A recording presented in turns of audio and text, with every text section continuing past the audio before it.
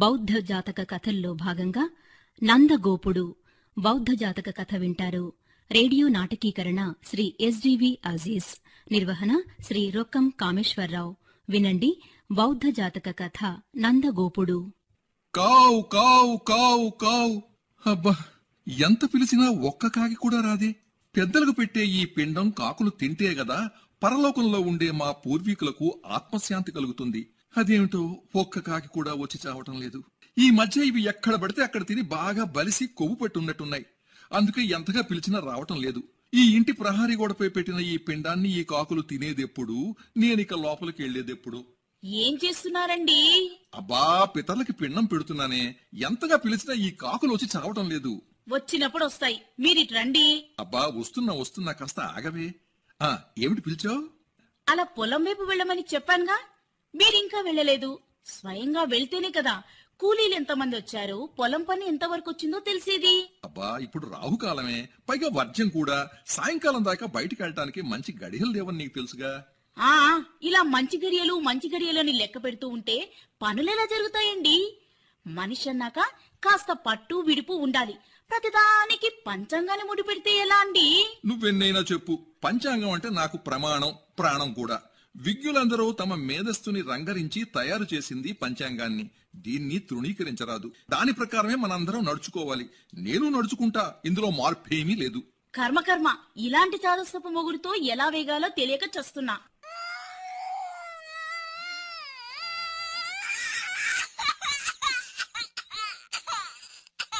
అదిగో పిల్లాడేడుస్తున్నాడు ఎత్తుకొని కాస్త ఆడించండి. నాకు వంటిట్లో పనుంది. అబ్బా నేను మడి కట్టుకున్నానని నీకు తెలుసుగా. ఇలాంటి స్థితిలో నేను ఎవరిని ముట్టుకోను. నిన్ను కాదు వాణ్ణి కూడా. మీరీ జన్మకు మారరు.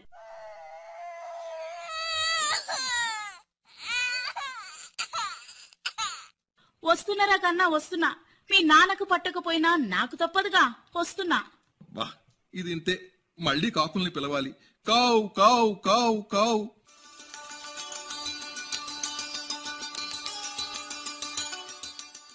ఏమో ఎక్కడున్నావు? ఇటు వస్తావు ఒకసారి?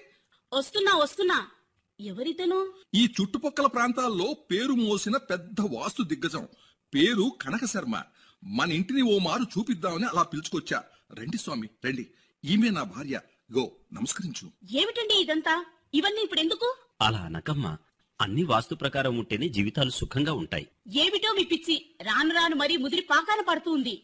మీ ఇష్టం వచ్చినట్లు చేసుకోండి. నాకు వంటిట్లో పనుంది. వంట సకాలంలో పూర్తి చేయకపోతే మళ్ళీ మీరే కేకలేస్తారు. స్వామి కూడా ఇక్కడే భోంచేస్తారే కాస్త ఎక్కువగా ఉండు అలాగే రెండు మూడు కూరలు కూడా. ఆ కర్మ ఈ చాదస్తుడికి ఎప్పుడు బుద్ధి వచ్చి వాస్తవం తెలుసుకుంటాడో?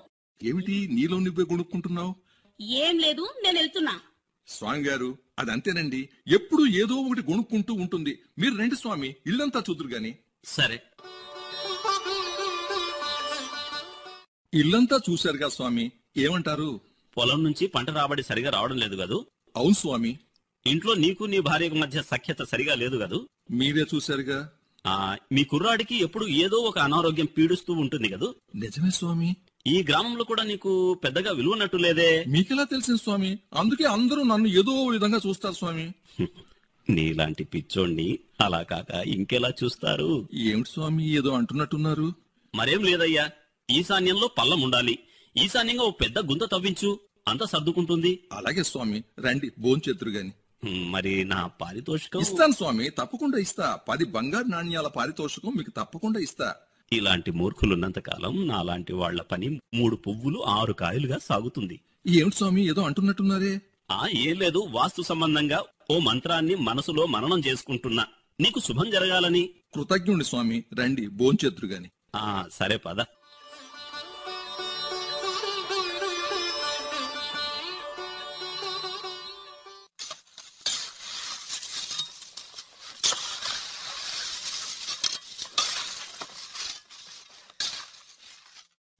ఏమిటిదంతా ఎందుకు గుంత తవ్వుతున్నారు? అబ్బా వాస్తు దిగ్గజం కనక శర్మ గారు చెప్పిన దాని ప్రకారం ఇక్కడ గుంత తవ్వితే మనకు శుభం జరుగుతుందట. అన్ని అరిష్టాలు తీరిపోతాయట. మీరీ జన్మకు మారరు. కర్మ కర్మ. మీకు నచ్చినట్లు మీరు చేసుకోండి. నేను అడ్డుకుంటే ఆగుతారా ఏంటి? అసలు మిమ్మల్ని కాదండి మీలాంటి చాదస్తుణ్ణి కట్టబెట్టిన నా తల్లిదండ్రుల్ని అనాలి. వస్తున్నారా కన్నా వస్తున్నా. ఏడవకు ఏడవకు. అది అంతేలే శాస్త్రి గారు. మీరు కానివ్వండి సాయంకాలం లోపల గుంత తవ్వటం పూర్తవ్వాలి. మీరు కోరినంత ధనం ఇస్తానన్నానుగా త్వరగా కానివ్వండి.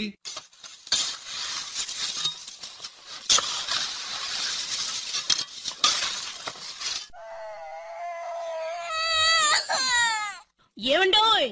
ఏమిటో ఏమిటా గావుగాక నాకేం చెవులు లేదు. చెప్పు. నేను వంటింట్లో ఉన్నానండి. పిల్లాడేడుపు వినిపించడం లేదా?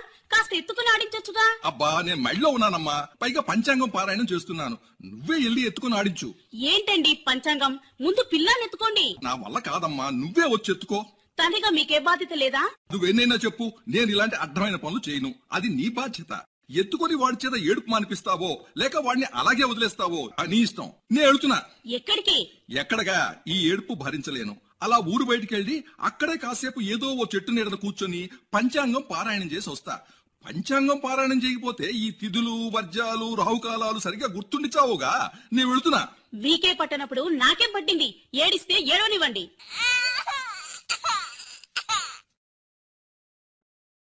అరే బాబు ఏడుపు మానేశాడే.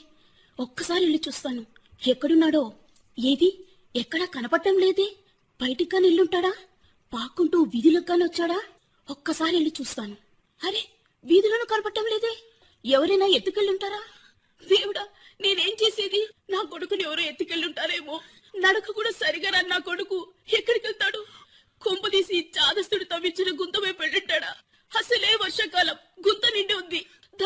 దానిపై బండ ఇచ్చమని ఎన్నిసార్లు చెప్పినా వినిపించుకోలేదు. పొరపాటు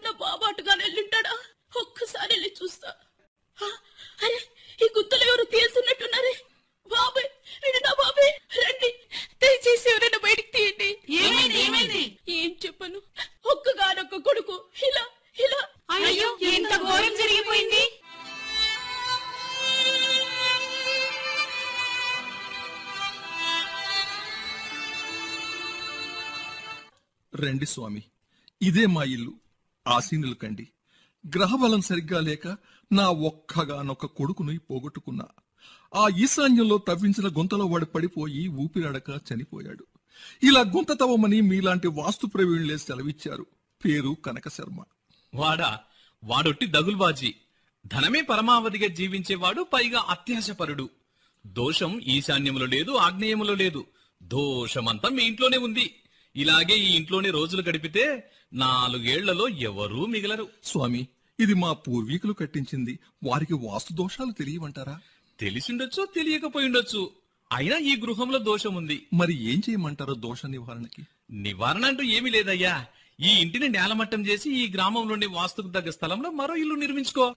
తప్పదంటారా స్వామి? తప్పదు నాయనా. మనిషి వాస్తుకు బద్ధుడై జీవించాలి. లేదంటే ఫలితం చూశావుగా? ఉన్న కొడుకు పోయాడు. రేపు ఇంకెవరైనా? ఆ ఊహే భరించలేను స్వామి. ఎంత ధనం వ్యయమైనా దీన్ని కూలగొట్టి మరో చోట కొత్త గృహాన్ని నిర్మించుకుంటా. సంతోషం. మరి దక్షిణ? కాంచనం లేనిదే కర్మ తొలగిపోదంటారు. తప్పకుండా ఇస్తా స్వామి. లెస్స పలికావు. నాకు ఆ కనక శర్మంత ఆశ లేదు. కాకపోతే బైరాగినైనా నాకు కొన్ని అవసరాలు ఉంటాయిగా నీకు తోచినంత ఇవ్వు. ఆ కనక శర్మకి ఎంత ఇచ్చానో మీకు అంతే ఇచ్చుకుంటా స్వామి. సంతోషం. దొడ్డ మనసు. ఈ ఇంటిని కూలగొట్టే పని వెంటనే ప్రారంభించు. స్వామి ఈ గ్రామంలో కొన్ని ఖాళీ స్థలాలున్నాయి. వాటిలో ఇంటి నిర్మాణానికి ఏది శ్రేష్టమైందో తమరే నిర్ణయిస్తే. మరి సంభావన? తప్పకుండా ఇస్తా స్వామి. స్థలం చూపించాక. సరే పద.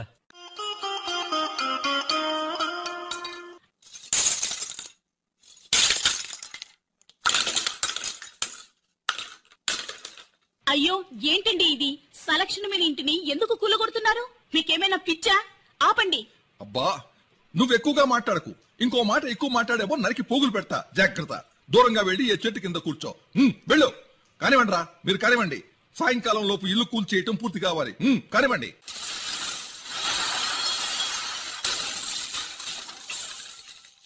ఆ బైరాగి చెప్పినట్టుగా మా పూర్వీకుల ఇంటిని కూలగొట్టించా వాస్తు ప్రకారంగా ఈ ఇల్లు కట్టుకున్నా మనసుకెంతో తృప్తిగా ఉంది. ఇక పంట ఎప్పుడు వేసే విషయం గురించి పక్కూరికెళ్ళి పండితుణ్ణి సంప్రదించాలి.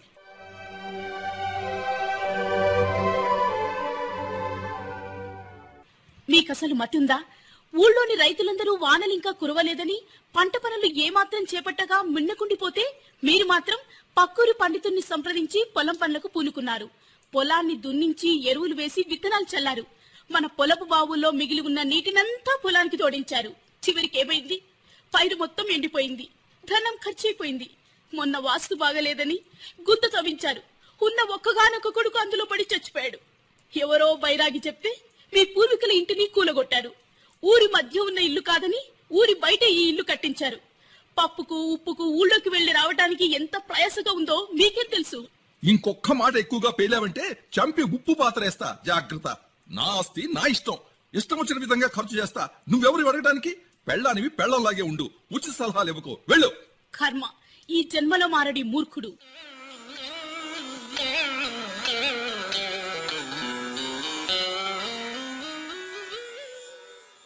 జ్యోతిష్యుణ్ణి సంప్రదిస్తే నా రాశిఫలం బాగులేదన్నాడు. ఏ పని చేసినా నష్టమే వస్తుందన్నాడు. ఊరంతా పొలం పనులు చేసుకుంటున్నారు. వర్షం కూడా బాగానే పడింది. పొలం పనులు చేయించాలా వద్దా?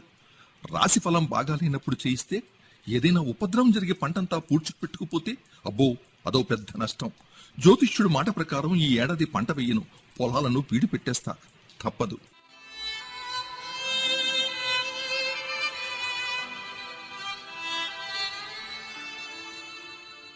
ఇతను చేసే మతిలేని పనులకు అప్పులు పాపాలు పెరిగినట్టు పెరిగిపోతున్నాయి. వీటిని తిరిగి ఎలా చెల్లించాలో తెలియటం లేదు.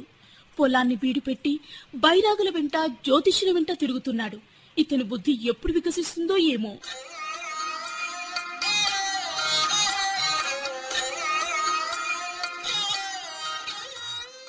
ఈ అప్పు తీరాలంటే ఈ దరిద్రం పోవాలంటే ఆ వేద పండితుడు ఉదయం మధ్యాహ్నం ఓ మంత్రాన్ని వెయ్యి సార్లు జపించమన్నాడు. నాకెందుకు ఈ మంత్రం ఫలించి తప్పక మునుపట్ల నే ధనవంతుడవుతాననిపిస్తా ఉంది. త్రికరణ శుద్ధితో ఈ మంత్రం చదవాలి. చదువుతా. బృగుటి తటి వేతటి వైరటి శ్వేత శ్వేత జడిత స్వాహ. బృగుటి తటి వేతటి వైరటి శ్వేత శ్వేత జడిత స్వాహ. బృగుటి తటి వేతటి వైరటి శ్వేత శ్వేత జడిత స్వాహ. అప్పులకు గాను ఉన్న పొలమంతా పోయింది. ఈ ఇల్లొక్కటే మిగిలింది. ఇలాంటి మూర్ఖుడితో సంసారం చేయడం కంటే చావడమే నయం. నాకు ఆకలి అవుతుంది అన్నం వడ్డిస్తావా? మగాడిగా చేయాల్సిన పనులు చేయరు కాని దీనికి మాత్రం తయారు. ఎక్కడి నుంచి తెచ్చి వండను? ఇంట్లో సరుకులన్నీ నిండుకున్నాయి. ఎవరైనా రైతులను అడిగి అప్పుగా తెమ్మంటే తెచ్చారా? తిండికి మాత్రం తగుదనమ్మా అని వచ్చారు. ఆ వేద పండితుడి సలహా మేరకు రెండు పూట్ల మంత్రాన్ని పఠిస్తున్నానే. త్వరలోనే మన దరిద్రం తీరిపోతుంది. ఇంత జరిగినా మీకింకా బుద్ధి రాలేదంటే ప్రపంచంలో మీ అంతటి మూర్ఖుడు ఉండడనిపిస్తోంది. మంత్రాలకు చింతకాయలు రాలుతాయా? మంత్రాలకి మహత్తుంటే అందరూ కష్టపడ్డం దేనికి?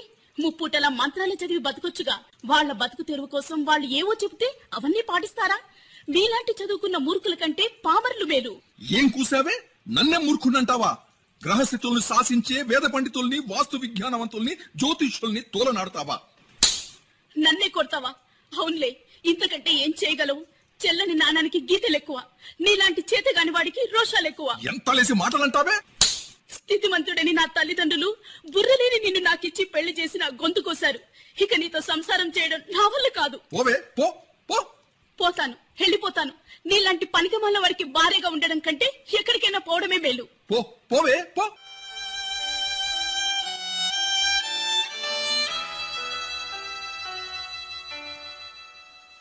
ప్రజలారా ఈ కథ వల్ల మీరు తెలుసుకున్నదేమిటి? మీరే సెలవివ్వండి మహానుభావ. మనిషి కష్టించి సంపదను వృద్ధి చేసుకోవాలే గాని ఇలా బతుకు తెరువు కోసం మాయమాటలు చెప్పే వేద పండితుల మాటలను వారి అర్థం లేని మంత్రాలను పాటించరాదు. మనిషి గాలి వెలుతురు బాగా వచ్చేలా ఇంటి నిర్మాణం చేసుకుంటే చాలు. దీనికి వాస్తు అవసరం లేదు. అలాగే రాసులు మన భవితను నిర్దేశించలేవు. మన కష్టమే మన భవితను నిర్దేశిస్తుంది. గాలి కబుర్లు కాదు. ఓ గడియ తర్వాత ఏం జరుగుతుందో ఎవ్వరికీ తెలియదు. అలాంటప్పుడు ఎప్పుడో ఏదో జరుగుతుందని బోధించే జ్యోతిష్యులను నమ్మకండి. జీవితంలో ఏదైనా నిర్ణయం తీసుకోవాలంటే జీవితం అనుభవం ఉన్న పెద్దలను సంప్రదించి సలహాలు తీసుకోండి. నందగోపుళ్ళ ప్రజల అమాయకత్వాన్ని ఆసరా చేసుకుని బతికే ఆ పరాన్న జీవులను ఆశ్రయించకండి. కొడుకును భార్యను సర్వస్వాన్ని కోల్పోయిన ఆ నందగోపుడు మనస్సు వికలుడై ఎక్కడెక్కడో తిరిగి చివరకు నాచంతకు చేరాడు. ఓ బౌద్ధ భిక్షువయ్యాడు అతనిలా చెడకుండా ఉండేందుకు అతని జీవితం మీకు ఒక హెచ్చరికలా ఉపయోగపడాలి. జీవితం పట్ల జాగరూకతతో వ్యవహరించండి. ఈ పూటకి ఈ కథ చాలు. మరోమారు మరో కథ. మీరింతవరకు బౌద్ధ జాతక కథల్లో భాగంగా నందగోపుడు బౌద్ధ జాతక కథ విన్నారు.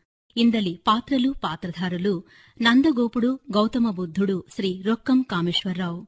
నందగోపుని భార్య Shrimati Y Haritha. Kanaka Sharma Shri PS Jani Basha Swamy Shri D Idur Saheb radio నాటకీకరణ Shri SDV Aziz నిర్వహణ శ్రీ రొక్కం కామేశ్వరరావు